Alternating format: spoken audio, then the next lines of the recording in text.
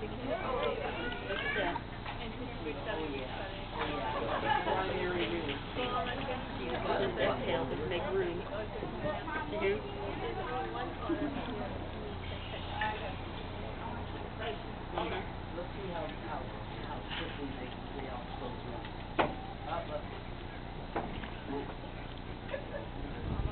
not dumb. He's been sitting there all day. Oh, yeah. Oh, yeah. Joshua, you they come to go. get they get more position. Look, they have a I- feeling, you know. if they see one move in, they'll- Yeah, okay. Couple of them are moving. Now, which one is Bone Crusher? Big guy right there. Okay. Okay, he's about fourteen foot. That is, What are you feeding him? I got some pork and some chicken. Any kind of meat we have, they don't care. As long as it's food, they're happy.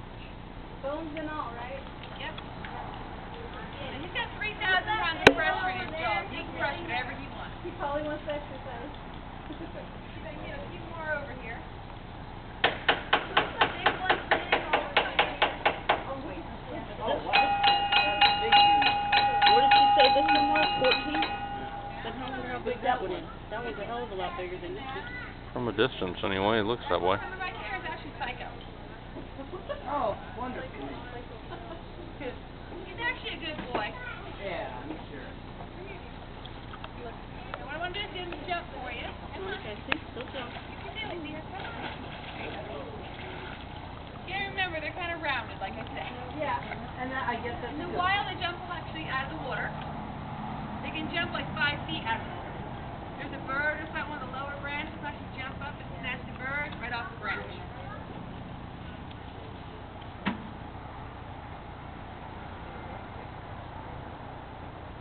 Come on, gators. Come on.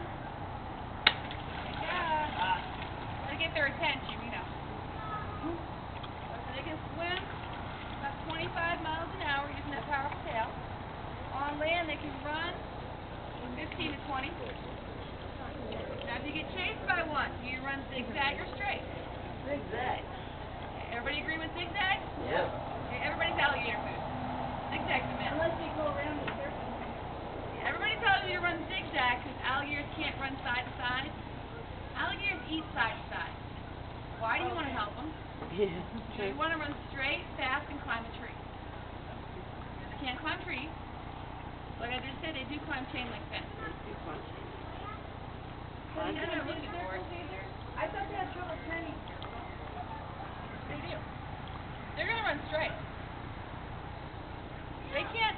They, what it is, they can't um, back up, and if they go to turn, they have to turn the whole body. They can't. Make him jump. Come here. Come here, buddy. Come on. Come on. They're. What about it? You're the only one who's been jumping lately, right? She knows she's gonna get fed.